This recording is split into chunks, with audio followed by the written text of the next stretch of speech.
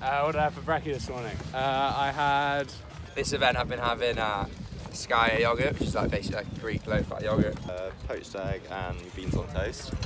Had cornflakes for breakfast Is that and a coffee. Normally for breakfast, I'll just go classic cereal, cereal and milk.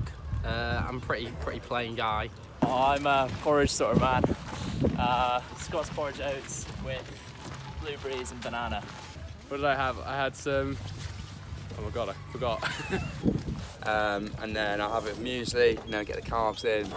And then just loads of fruit and basically just carbon up for a big day really. And a bowl of fruit as well, just for a bit of sugar hit. Bit of cereal, bit of chocolate in there. Like a bit of granola with chocolate because I've got a sweet tooth. is it the same every day or does it change? Usually the same every day. I had poached eggs, baked beans and toast, followed by a medley of berries.